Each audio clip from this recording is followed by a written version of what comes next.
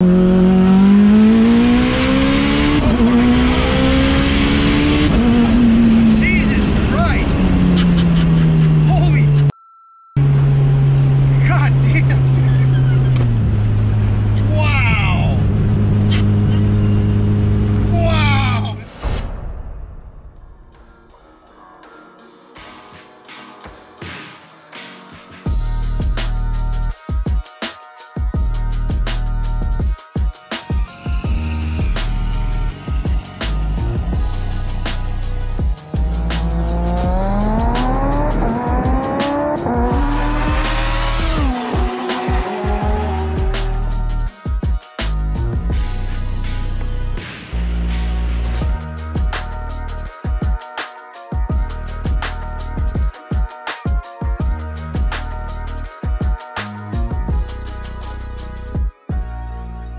What's up, TRC fans? Welcome back to the TRC Invitational brought to you by TurboSmart and Palm Beach Motorsports. We brought out some crazy fast and unique rides to battle it out.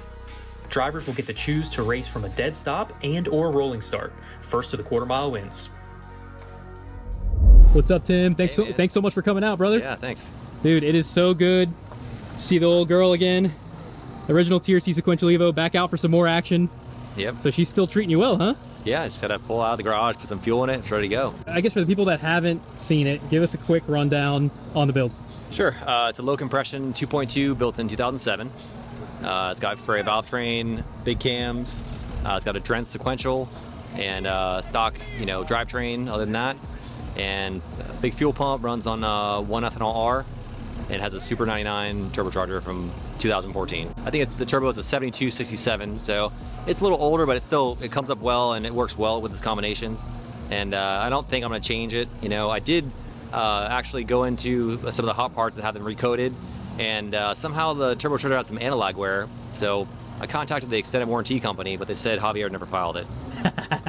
So I sent the turbocharger to FP. They uh, luckily they had one turbine housing left. We built the turbocharger, had everything coated, put everything back together, uh, changed the charge pipes slightly, added some uh, upgraded uh, end links to the uh, intercooler, and then um, you know basically put some plugs in it and brought it out to race. Uh, as far as power today, I had about 45 to 47 pounds of boost. You know, I take the car out probably every two to three weeks. You know.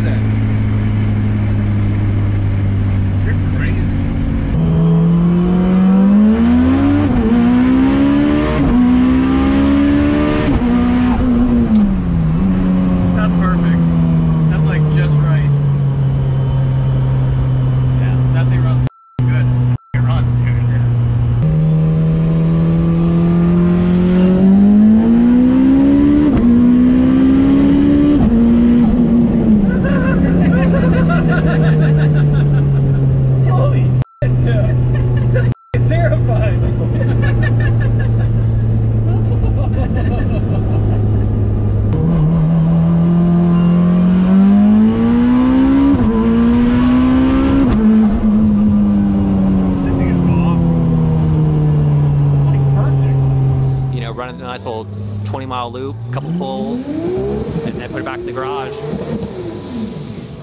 So just really been enjoying it, and uh, it's not the fastest car out there, but for what it is, it's it's a lot of fun every time.